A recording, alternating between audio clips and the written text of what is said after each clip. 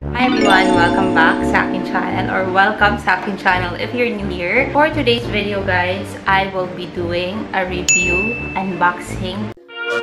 For real, for real, for real, this time. Taking over, for real, for real, for real.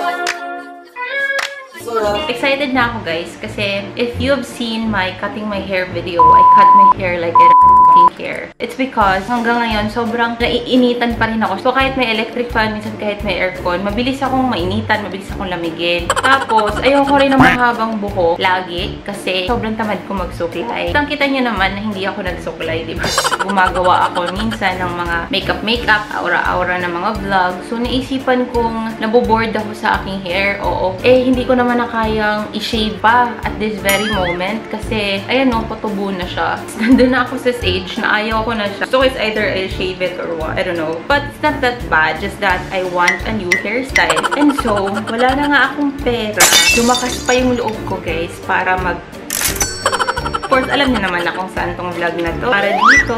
So, ang gagawin natin, guys, is mag-unbox tayo ng wig. 2 to 3 weeks ago, naghahanap na ako ng wig na maganda. Yung tipong, alam mo yun, kasi yung expectation ko dito medyo mataas-taas. Pero hindi naman, ano, level, super taas. Because itong wig na to, I bought it for 888 plus the shipment, mga 964 total. Actually, guys, this is like the first time that I bought myself a wig. So, kaya halos buong araw akong tumingin sa Lazada, sa Shopee, kung ano yung nasa budget. Super tight budget, like 500 lang talaga dapat. Yung budget ko for a wig. Pero I don't want to buy a wig naman na hindi siya ganun ko worth. Ito, napaangat tayo ng very light. Buti na lang at naka-promo to ng 888. So, napabili ako. And that's because of another YouTuber. Nakita ko lang yung channel niya when I was like looking for a wig. So, kung gusto nyo i-check out yung channel niya, guys. Hindi kami friends in real life. Pero natutuwa ako sa kanya. Kasi wala lang, cutean ako sa mga products na nire-review niya. Parang mga Korean. And then, nung nakita ko yung review niya, talagang on the spot, napabili ako doon. So, mga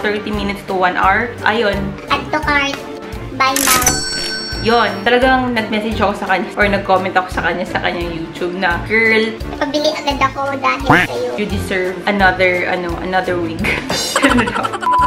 So, hindi ako sure kung ito din yung wig na inano niya. Pero parang magkamukha sila. I was supposed to buy or purchase another wig. Yung parang pack talaga. Kaso naisip ko, hindi ko siya laging gagamitin. Mahirap siyang style. Okay lang sana kung sobrang nag explore ako. So, inisip ko, why not buy something na kaparehas nung sa kanya? Tipong I can wear it here or I can go outside with the style of the wig. Ang dami kong satsat. So, guys, yung wig is ganito siya. Ay, hindi siya wig pa. Ito pa pala yung box. I bought this one for 888. This was supposed to be, price niya dapat is 1,650 pesos. Galing tong China. So, medyo kailangan yung magantay. Alam niyo naman ngayon, medyo matagal-tagal ang kanilang mga deliveries. So, for me, medyo mabilis naman kasi nung pagka-order ko, talagang nabukasan, nakita mo na agad na gumagalaw yung delivery. So, yung mga processing and everything. Para sa akin, mabilis siya. So, yung pangalan nito, guys, is the Fashion Wig for Women Natural Fluffy Full with, with bangs, hair, wools, wool, curls, high temperature, synthetic, silk, long, curly hair. Nag-spray na ako dito kasi alam na, sa mga panahon ngayon, open na natin, guys. In all fairness, ha, saktuhan yung dating niya. Hindi siya na-late. Supposedly, it will arrive on the 27th up to September 7 yung arrival niya. But it arrived a day earlier. And to think, wala ako sa Metro Manila. Hindi ako marunong mag-unbox. Kailangan ko kasi ipakita, di ba? Kasi unboxing nga. Nabasag. Charing, nababasag ba ang wig? So, ganito siya. Ayun, ito siya. So, ganito siya, guys. Medyo may, may pinagdaanan yung box. Pero carry lang kasi hindi naman siya babasagin. Hindi niya kailangan ng mga kung ano-anong protection as long as buhay siya. Kailangan OA yung acting. Parang, ganda, ganda, ganda siya, guys. Ulit, charot lang. And then, pag in-open mo, Taray! So, when I open it, meron silang pasuklay. Buti naman po at binigyan ninyo akong suklay kasi wala akong suklay. So, kailangan ko ng suklay. Pati yung pang suklay sa wig eh. Para siyang pambata. Pero, wala akong pake. Hindi naman ako specific kasi again, hindi ako nagsusuklay.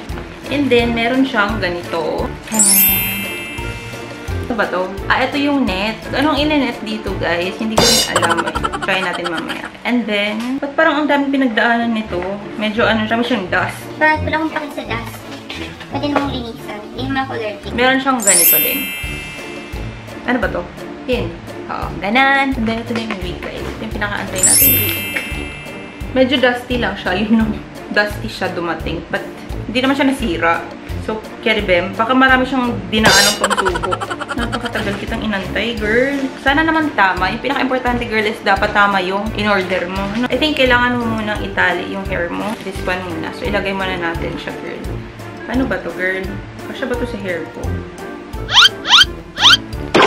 Wait, am I doing this correctly? Wala kasi akong itatali. Ano itatali ko? Hala, girl, para akong ano.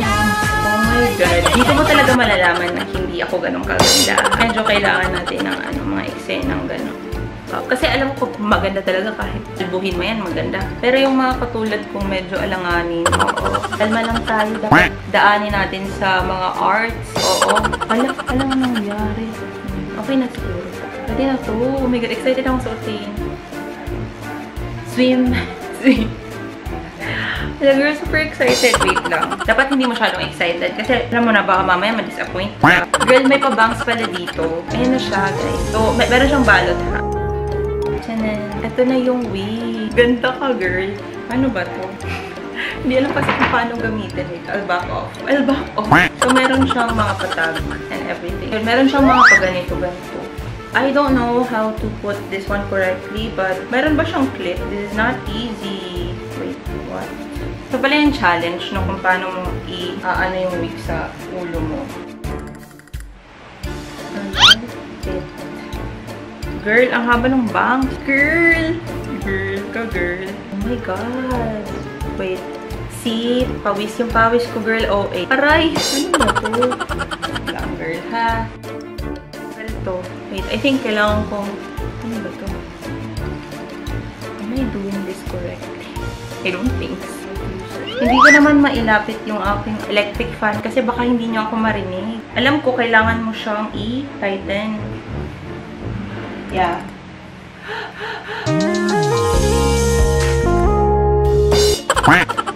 Oh my God! Wait. Oh my God, baby girl! Yung bangs, girl, wala akong makita. Medyo nilapit ko na yung electric fan, my friends. Kasi grabe yung... Oh my God! Ang ganda! Kita nyo ba, guys? Pero yung pawis, grabe din. Wait.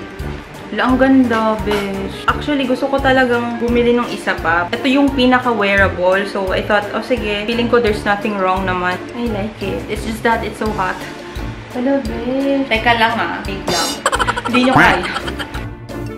Kasi yung iba, parang sobrang tiny. Well, this one, hindi. I've tried yung extensions ko before. It's a bit shiny. Ayoko po muna siyang putulan, but I think I have to adjust yung kanyang bangs. Yung bangs niya, be, napupunta sa aking eye. Kailangan ko atang putulan. Pero of course, mamaya na lang, pag-isipan ko muna kasi baka mamaya bigla siyang ang pangit.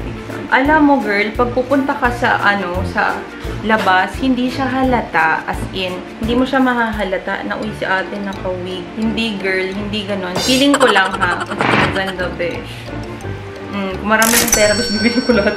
I like it. Super love. Tama lang din yung haba niya. Hindi siya yung tipong OA. Ang ganda. So, besh, yung pawis ko, besh, hindi, hindi kinakaya, besh. Ay, eto na to.